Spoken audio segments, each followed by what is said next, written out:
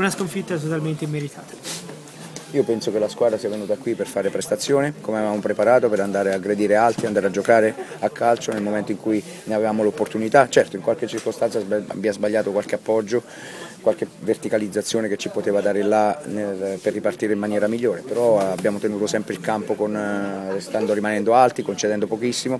Abbiamo avuto l'opportunità sullo 0-0 per passare in vantaggio e poi dispiace perché un certo senso qualche decisione non ci è piaciuta perché in un momento topico della partita ehm, c'erano stati due o tre falli in uscita che potevano permetterci di risalire, di guadagnare campo, invece un fallo su Bogdanin è nato il gol del vantaggio loro.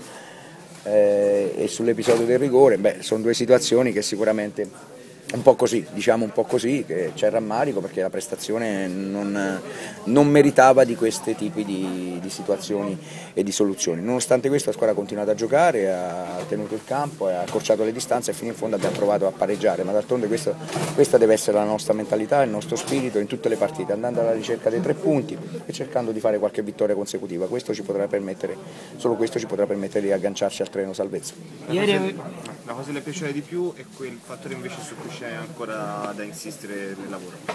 Ma lo spirito della squadra, l'organizzazione andare a aggredire altri senza mai rinunciare a essere passivi, bassi, dare campo agli avversari anche se venivamo qui a San Siro a giocare.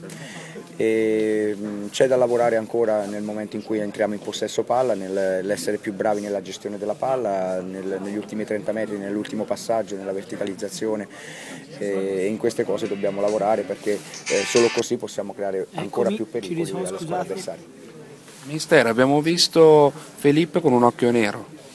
Eh, non so se c'è stato un, un, duello, una, una comitato qualcosa. Lui ha detto le ho prese.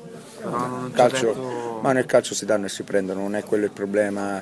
Eh, sono più rammaricato per l'episodio in cui Felipe è rimasto coinvolto del rigore, insomma, perché lì onestamente è stato sicuramente furbo e bravo Giampaolo Pazzini perché magari è andato alla ricerca di un qualcosa in più di quello che magari poteva esserci su quello sviluppo dell'azione.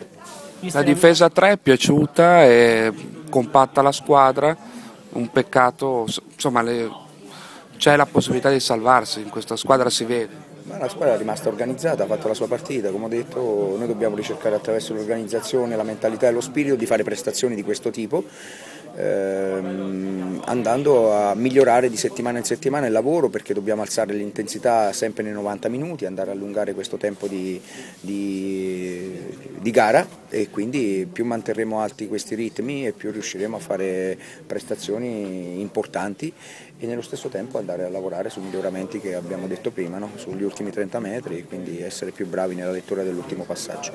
Aveva chiesto personalità, questa c'è stata e adesso insomma bisogna andare a fare punti a Torino e poi sì, sì. con calma gara dopo gara affrontarla sempre al massimo. Esatto, noi dobbiamo continuare senza guardare gli altri, ormai il nostro campionato è questo, no? quindi sapere che dobbiamo andare su tutti i campi, in casa o fuori casa, per ricercare i tre punti, no? andando a migliorare le cose dove sappiamo che possiamo ancora avere margini di miglioramento e solo così possiamo avere l'opportunità e la possibilità per andarci a ritagliare ancora questi, accorciare ancora questa classifica. Quindi senza essere rinunciatari, senza essere passivi, ma andando a fare la partita, andando a giocarcela nella maniera giusta.